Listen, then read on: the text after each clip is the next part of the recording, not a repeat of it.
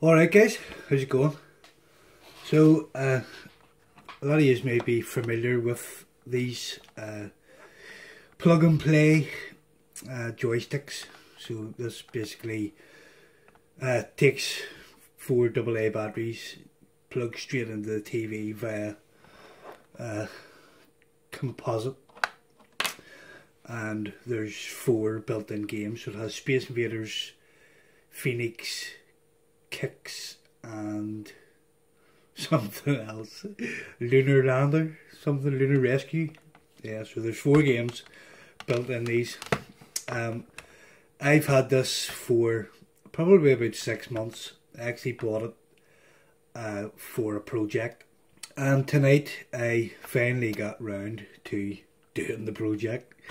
So these are uh, quite a nice joystick. The, the stick itself is actually micro switched. The buttons aren't micro switched, but they're uh, like a dome, rubber dome, like you would find in a Mega Drive. That's what's underneath these buttons. Um, I took a bit of footage earlier showing the inside of these buttons. So yeah, they're not micro switched, but it's a tried and tested method of using buttons. You know, they do work really well, even though they're sort of spongy but the stick itself has uh, got four nice micro switches in it for like a proper arcade joystick. So yeah, what it did was I have turned this into a ColecoVision joystick. Uh, pretty similar to my big wooden arcade stick that I did. And I have again put a pass through on this so I can then plug my ColecoVision controller in and use the keypad to select the games. So these are designed for uh, left and right handed play. So I have wired both sets of buttons up. Uh, I'm right handed myself so I'll be using the stick uh, with my left hand and the buttons with my right hand. Um, but if ever get a visitor who's left-handed, um, they can quite easily switch over.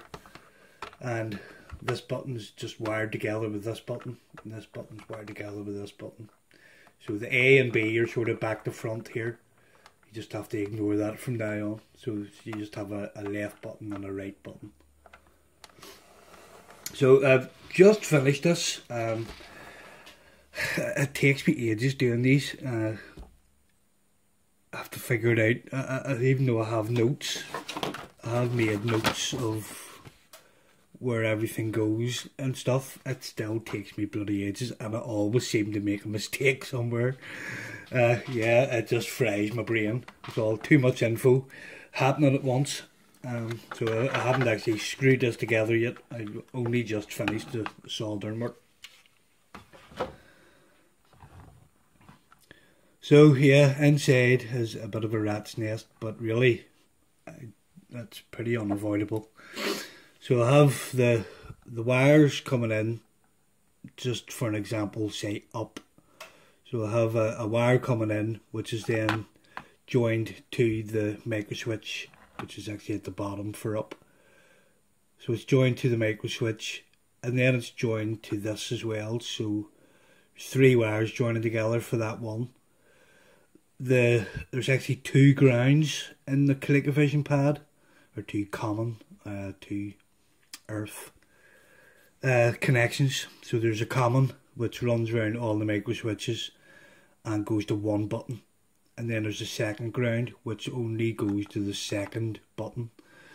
Uh, so yeah, it's uh, it takes a bit of a bit of figuring out.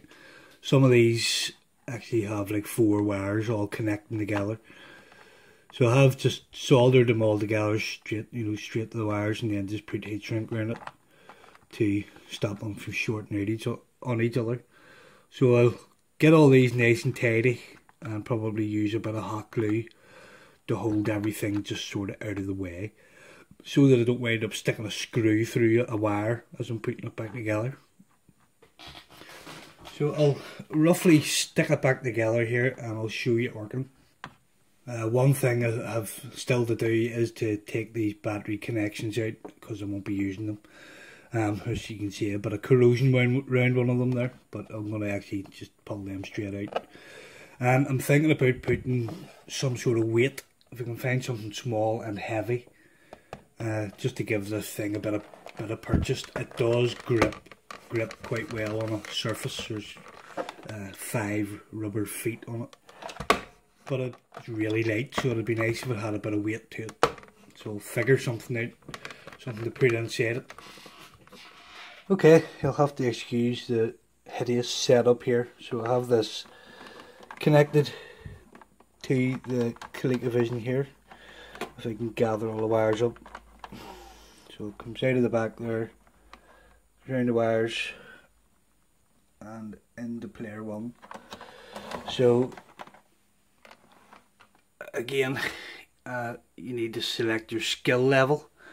With uh, this game, Cosmic Avenger, you can't actually use the player two uh, keypad, but some games don't let you do that, which is the whole point of putting a pass through on. So, if I can do this one handed.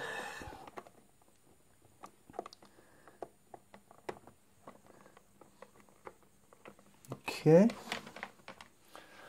Press 1 for one player. Excuse the light from the phone.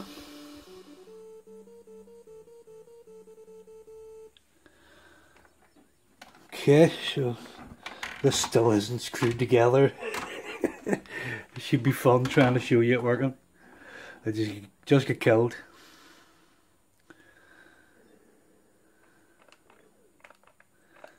So the right button is shoot and the left button is your bombs.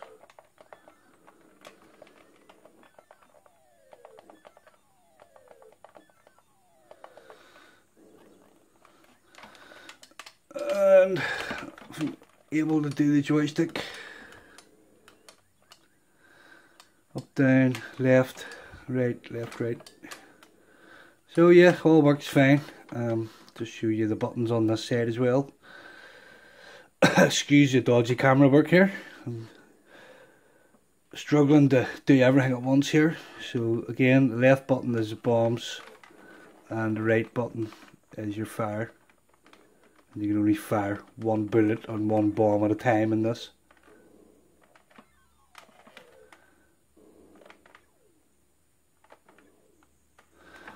So yeah, works perfectly. And again, with the pass through, I can uh, still use the ColecoVision controller.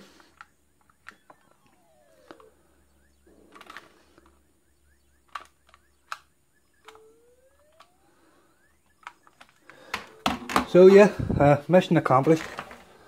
Um, just turn that off there. And have that jammed into the front of my DVD player here. That was the quickest way to get it into the television without having to pull the television out and try and work round the back. So yeah, that's uh, pretty much finished. I just need to uh, sort them wires out, tidy the wires up a bit better inside and screw it back together. Take the uh, battery contacts out. I don't have a battery door for this. The battery door is missing. But that doesn't matter, it's not going to be holding any batteries. Um, if we can figure out something heavy to put inside it as well, just to give it a bit of weight, there's not an awful lot of room in there, so I may just have to make do. It does sort of grip when you have your, your hands on it. It doesn't move, it doesn't slide about the table. So, yeah, perfect. And uh, these things are pretty common um, although I was looking at them on eBay and the fetch, well, they're all bat now at about 20 quid. Uh, I think I paid about a fiver for this one.